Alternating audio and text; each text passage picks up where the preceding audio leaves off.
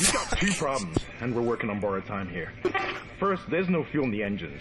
Second, the gravity centrifuge is offline, which means there's a couple of trillion tons of rock pulling us down. Ah. I need you to get that centrifuge operational. Refuel the main engine and fire it up so I can stabilize the ship's orbit.